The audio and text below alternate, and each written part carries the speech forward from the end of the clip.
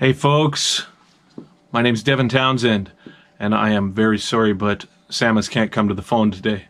He is currently embroiled in doing inhuman amounts of work for me um, regarding a project that I can't tell you about. You'll see it very soon. So I'm sorry if there's anybody that um, is directly responsible for Sam not being able to do the Video. today. It's me, and I apologize. But um, I mean, suck it, I guess. Is the bottom line because uh, Sam rips, and I need him to do some ripping for me. So we'll be uh, in touch with you real soon, and he'll be back at the regular scheduled time very soon.